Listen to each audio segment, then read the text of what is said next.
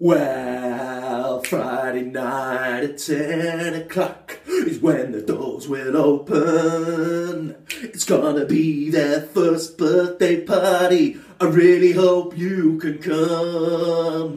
Pete Tong, Miguel Campbell, Darius Syrossian, and Hector Couto. Oh, they're the four headliners. It's gonna be a massive show. Friday night at the warehouse. It's gonna be the first birthday, yeah. With both rooms open, I hope everyone's out to play. Yeah, we've got all the local talented DJs, Jamie Ward and Grant Gordon.